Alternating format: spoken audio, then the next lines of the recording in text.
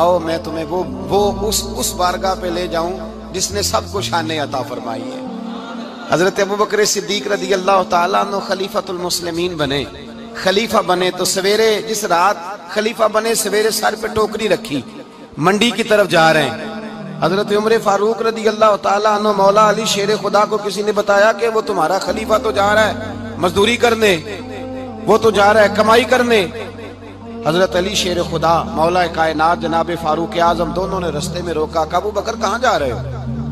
फरमाने लगे, काम करने जा रहा हूँ, मजदूरी करूँगा, मंडी में जाऊँगा तजारत करता था, उसको जारी रखूँगा, बच्चों का पेट भी तो पालना है। अब तुम्हारी हुकूमत के पीछे बच्चे तो नहीं ना भूखे मरवा लेने। मैंने कुछ करना तो है। हज़रत उमर कहने लगे, चला आके बैठ। हम सियाबा को इकट्ठा करते हैं और माले गनीमत से तेरा वजीफा लगाते हैं। आपको वजीफा मिलेगा, माना। तो आप रह बैठ करके मस्जिद में तो ड्यूटी करें। बैठ गए, मुशावरत हुई तो हज़रत अबू बकर सिद्दीक रदी अल्लाह तला पूछने लगे, जनाब, बतलाइए, आपका कितना वजीफा लगाया जाए? तो अबू बकर सिद्दीक फरमाने लगे, उतना लगा दो जितनी एक मजदूर की तनख्वाह होती है। तो एक सियाबी बोल के बड़े मीठे और धीमे लहजे में कहने लगे, अबू बकर, अगर तेरा गुजारा ना हुआ तो अगर तेरा गुजारा ना हुआ तो अबू बकर सिद्दीक फरमाने लगे, अगर मेरा गुजारा ना हुआ तो मैं मजदूरों की तनख्वाह में इजाफा कर दूँगा। अगर मजदूरों के घर जलने लगेंगे तो मेरा भी चलेगा। मैं उनकी तनख्वाहें बढ़ाऊँगा सिर्फ़ अपनी। तो मजदूर के हुकूक का तयन किया, सबसे पहले तो मेरे नबी पाक सलाम ने मना फरमाया फरमाया, जिसको मजदूरी पर रखो, पहले उसके साथ उजरत तय करो।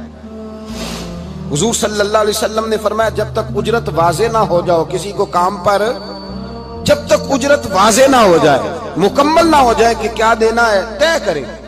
क्या लोगे जो जनाब दे देंगे, ले लूँगा। शरीयत इसको पसंद नहीं करती, महबूब नहीं रखती। पहले उसके साथ, पहला हक मजदूर को यह दिया कि उसकी उजरत पहले, बोलिए उजरत पहले पहले उजरत तय होगी, ये पहला हक है। और मजदूर का दूसरा हक क्या बयान किया मेरे नबी पाक ने? फरमाया, जब, और ये ऐसी आला बात है कि जितने हुकूक लिखने वाले हैं ना, जितने बैन अवी सतह पर इंसानी हुकूक का चार्टर बनाने वाले हैं, वो कहते हैं कि ये ऐसा नुकता हजूर ने बयान कर दिया है कि इससे आगे को बाढ़ ही नहीं सकता। ये ऐसी बात है कि जिसकी शराह भी कोई नहीं कर सकता। मेरे हबीब करीम सलाम ने फरमाया, पहले तय करो और क्या खूबसूरत लफज है। कानून बना दिया। फरमाया, जब मजदूर मजदूरी कर ले तो उसका पसीना खुश्क होने से पहले पहले उसे अदा कर देना। उसका पसीना खुश्क होने से, पसीना खुश्क होने से पहले उसे उसकी मजदूरी दे दो। एक सियाबी अपने खादिम गुलाम को मार रहे थे तो मेरे नबी पाक तशरीफ़ लाए। फरमाया, क्यों इसे मार रहा है? हुजूर गलतियाँ बड़ी करता है। तो नबी पाक ने फरमाया, जितना तुझे इस पर इख्तियार है ना उससे कहीं बढ़कर मेरे रब को तेरे ऊपर बड़ा इख्तियार है। का हुजूर, ये बड़ी गलती करता है, मैं आखिर कितना माफ़ करूँ? तो हुजूर ने फरमाया, उतना माफ़ कर जितना मेरा रब तुझे माफ़ फरमाता है। पता है तेरी सुबह से लेकर शाम तक कितनी कोताहियाँ दरगुजर का हुक्म दिया। पहला हक ये दिया, मजदूरी तय करो। दूसरा हक ये दिया, पसीना खुश्क होने से पहले अदा करो। तीसरा हक ये दिया कि उससे दरगुजर करो। गलती हो जाए तो दरगुजर करो। तो यार रसूलुल्लाह, मजदूरी कितनी दें? मेरे नबी पाक, बुखारी, मुस्लिम। हजूर सैद आलम सल्लल्लाहु अलैहि वसल्लम ने फरमाया, मजदूर का हक बयान किया नबी पाक ने। और एक बात इशाद फरमाई तो उसके अंदर कई पहलू, एक हदीस में कई पहलू बयान फरमाए। हबीब पाक ने फरमाया, जैसा तुम खाते हो, वैसा ही उसे भाई, बस खत्म हो गई बात। इतनी बड़ी बात कर दी सरकार ने। कभी देखा है आपने कि मजदूर को ऐसे खिलाया जा रहा हो जैसा मालिक खा रहे हैं? हुजूर ने फरमाया, भाई, मजदूरों का हक ये है कि जैसा तुमने खाना है, वैसा उसे खिलाना है। और फरमाया, जैसा तुमने पहनना है, वैसा उसे पहनाना है। और फिर मेरे हबीब करीम सलाम ने शाद फरमाया, उसकी हिम्मत से बढ़कर तुम उस पर बोझ नहीं डाल सकते। जितना काम वो कर नहीं सकता, उतना तुम उसे दे नहीं सकते। और फरमाया, अगर उतना काम देना है जो उसकी हिम्मत से ज़्यादा है तो मैं उसके मालिक को कहता हूँ, वो भी उठ के मजदूर के साथ काम पे लग जाए। उठे उसके साथ काम में शरीक हो जाए। मजदूरी का भी ताजुन फरमाया, और फिर उसको काम किस मकदार का देना है? मजदूर को किस कदर ज़्यादा उस पर बोझ डाला जाएगा, ये भी मुस्तफ़ा करीम ने बयान फरमाया। फरमाया, जो लायुकल्लिफुल्लाहु अल्लाह भी तुम पर वो बोझ नहीं डालता जो तुम उठा नहीं सकते। तो किसी मजदूर को तुम ऐसा काम नहीं बताओगे? हज़रत उस्मान गनी रदी अल्लाह एक दिन हज़रत उम्र फारूक से कहने लगे, उम्र, बास कर दे यार। तेरे बाद भी तो लोगों ने खलीफा बनना है। कैसे को तेरे रस्ते पे चलेगा? तो हज़रत उस्मान गनी से जनाब उम्र कहने लगे, क्या हो गया? आप फरमाने लगे, कल मैं देख रहा था कि लोग बाग में मजदूरी कर रहे थे और आप अमीरुल मोमिनीन होके उनका हाथ बटा रहे थे। हाथ बटा रहे थे तो हज़रत उमर कहने लगे, बूढ़े थे, बीमार थे। मजदूरी कर रहे थे तो पसीना बह रहा था। क्या हो गया अगर थोड़ा सा मैंने साथ दे दिया? हज़रत जनाब सैदना फारूक आज़म, ये लफ्ज कहते हुए रो पड़े। आप फरमाने लगे, मैं किसी बादशाह का शहजादा नहीं, मैं भी उसी बाप का बेटा हूँ जो ऊँट चरा के गुजारा किया करता था। मैंने आगे बढ़ के लोग हैसियत भूल जाते हैं अपनी। हैसियत भूल जाते। हैं अल्लाह तबारक बताला जब कुछ अता करता है, उनका रवैया अपने मातहतों के साथ इतना सख्त और जाबिराना, आमिराना हो जाता है। इस कदर ज़्यादा उनके लबो लहजे में कड़वाहट आ जाती है। इस कदर ज़्यादा उनकी तबीजतों के अंदर सख्ती और गुरूर भर जाता है कि वो एहसास ही नहीं करते कि जो सामने बैठा है, वो बड़ा एक दुखी इंसान है और वो तकलीफ़ में है, वो आजमाइश में अपने आप को मुबतला समझ रहा है। हज़रत अबू जर गिफारी रदी अल्लाह तु फरमाते हैं, मैं अपने मातहतों के हक में बड़ा सख्त था। सख्त थी मेरी तबीयत। मेरे गुलामों की ज़रूरत ही नहीं थी कि वो मेरे सामने गुफ्तगु कर सकें और ठहर भी सकें। फरमाते हैं, जिस दिन मैं कलमा पढ़ने गया, जिस दिन मैं हुजूर की बारगाह में तो मैंने कहा, हुजूर, कोई खास नसीहत? तो नबी पाक ने फरमाया, मेरी नसीहत तेरे लिए ये है कि जैसा तूने खाना है, वैसा ही गुलाम को खिलाना है। जैसा तूने पहनना है, वैसा ही गुलाम को पहनाना है। हज़रत अबू जर कहते हैं, जो मेरे अंदर कमी थी, वही मेरे नबी ने नसीहत कर दी। जो मेरे अंदर कोताही थी, वही गैब जानने वाले रसूल ने बतला दी। फरमाते, मैं घर गया जब मैं जाता था तो मुलाजमों का सांस खुश्क हो जाता था। वो कांपने, हाँपने लगते थे कि जाने अब ये क्या करेगा? हज़रत अबूजर गिफारी फरमाते, मैं गया एक शख्स से मैंने कहा, खाना पकाओ, खाना पकाया, दस्तरखान पे लगाया और अपने सारे मुलाजमों को कहा, आओ यार मेरे साथ बैठ के रोटी खाओ। आओ सारे मेरे साथ बैठ के खाना खाओ। फरमाते उन्होंने खाना खाया, फिर मैं उनको बाज़ार ले गया। जैसे कपड़े मैं पहनता था, वैसे मैंने उनके लिए भी खरीदे। फरमाते हैं, मेरे गुलाम कहने लगे, आका, खैर तो है ना? खैरियत तो है ना? क्या हुआ? मिजाज मुबारक तो ठीक है? क्या क्या हो गया? और ये ये जो हम फिजा को इतना खूबसूरत देख रहे हैं और ये जो हम इतनी प्यारी रिमझिम बरसती देख रहे हैं, ये जारी रहेगी या एक दिन की है?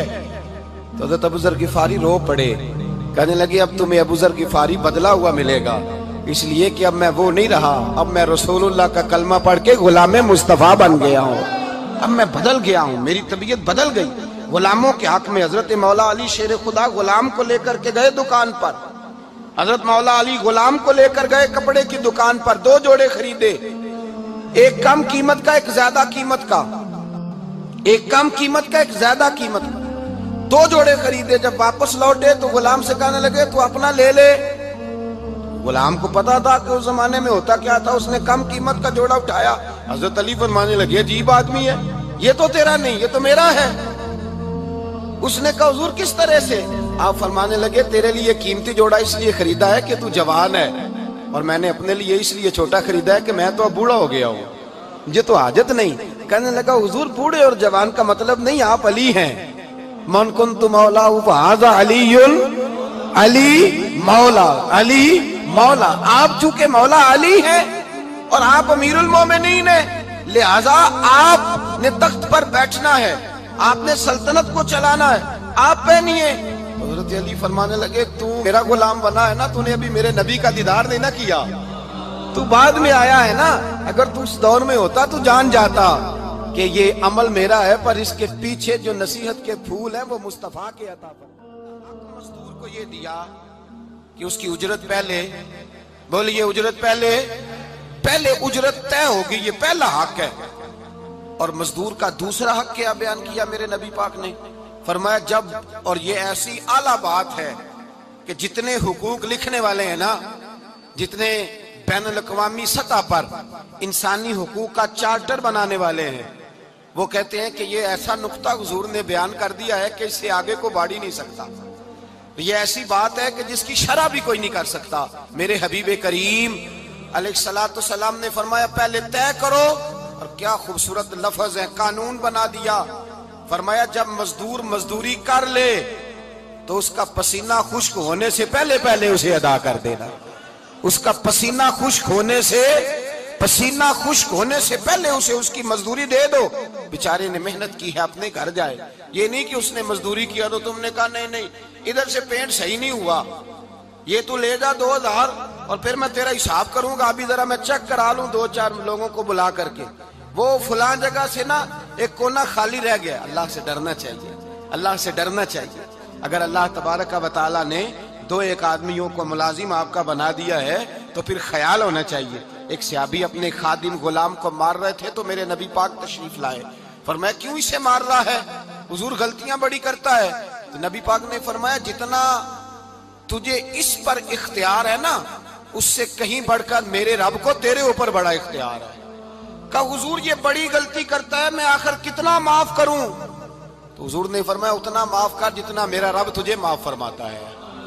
पता है तेरी सुबह से लेकर शाम तक कितनी कोताहियाँ दरगुजर का हुक्म दिया, पहला हक ये दिया, मजदूरी तय करो। दूसरा हक ये दिया, पसीना खुश्क होने से पहले अदा करो। तीसरा हक ये दिया कि उससे दरगुजर करो। गलती हो जाए तो दरगुजर करो। तो यार मजदूरी कितनी दें? मेरे नबी पाक, बुखारी, मुस्लिम। हजूर सैद आलम अलैहि ने फरमाया, मजदूर का हक बयान किया नबी पाक ने। और एक बात इशाद फरमाई तो उसके अंदर कई पहलू, एक हदीस में कई पहलू बयान फरमाए। हबीब पाक ने फरमाया, जैसा तुम खाते हो, वैसा ही उसे खिलाना। कोई नहीं, आप शायद सो रहे हैं कुछ हजरात। जैसा खुद खाते हो, वैसा ही। भाई, बस खत्म हो गई बात। इतनी बड़ी बात कर दी सरकार ने। कभी देखा है आपने कि मजदूर को ऐसे खिलाया जा रहा हो जैसा मालिक खा रहे हैं? हुजूर ने फरमाया, भाई, मजदूरों का हक ये है कि जैसा तुमने खाना है, वैसा उसे खिलाना है। और फरमाया, जैसा तुमने पहनना है, वैसा उसे पहनाना है। और फिर मेरे हबीब करीम सलाम ने शाद फरमाया, उसकी हिम्मत से बढ़कर तुम उस पर बोझ नहीं डाल सकते। जितना काम वो कर नहीं सकता, उतना तुम उसे दे नहीं सकते। और फरमाया, अगर उतना काम देना है जो उसकी हिम्मत से ज़्यादा है तो मैं उसके मालिक को कहता हूँ, वो भी उठ के मजदूर के साथ काम पे लग जाए।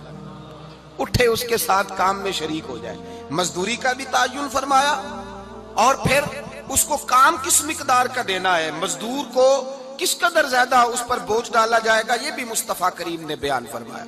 फरमाया, जो लायुकल्लिफुल्लाह अल्लाह भी तुम पर वो बोझ नहीं डालता जो तुम उठा नहीं सकते।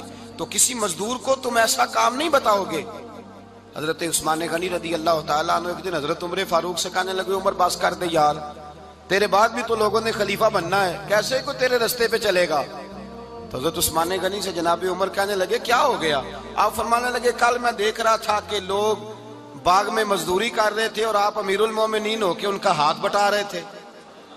हाथ बटा रहे थे तो हज़रत उमर कहने लगे, बूढ़े थे, बीमार थे मजदूरी कर रहे थे तो पसीना बह रहा था। क्या हो गया अगर थोड़ा सा मैंने साथ दे दिया? हज़रत जनाब सैदना फारूक आज़म ये लफ्ज कहते हुए रो पड़े। आप फरमाने लगे, मैं किसी बादशाह का शहजादा नहीं, मैं भी उसी बाप का बेटा हूँ जो ऊँट चरा के गुजारा किया करता था। मैंने आगे बढ़ के लोग हैसियत भूल जाते हैं अपनी, हैसियत भूल जाते हैं। अल्लाह तबारक का बताला जब कुछ अता करता है, उनका रवैया अपने मातह सख्त और जाबिराना, आमिराना हो जाता है। इस कदर ज़्यादा उनके लबो लहजे में कड़वाहट आ जाती है। इस कदर ज़्यादा उनकी तबीयतों के अंदर सख्ती और गुरूर भर जाता है कि वो एहसास ही नहीं करते कि जो सामने बैठा है, वो बड़ा एक दुखी इंसान है और वो तकलीफ़ में है, वो आजमाइश में अपने आप को मुबतला समझ रहा है। हज़रत अबू जर गिफारी रदी अल्लाह तु फरमाते हैं, मैं अपने मातहतों के हक में बड़ा सख्त था। सख्त थी मेरी तबीयत। मेरे गुलामों की ज़रूरत ही नहीं थी कि वो मेरे सामने गुफ्तगु कर सकें और ठहर भी सकें। फरमाते जिस दिन मैं कलमा पढ़ने गया, जिस दिन मैं हुजूर की बारगाह में तो मैंने कहा, हुजूर, कोई खास नसीहत? तो नबी पाक ने फरमाया, मेरी नसीहत तेरे लिए ये है कि जैसा तूने खाना है, वैसा ही गुलाम को खिलाना है।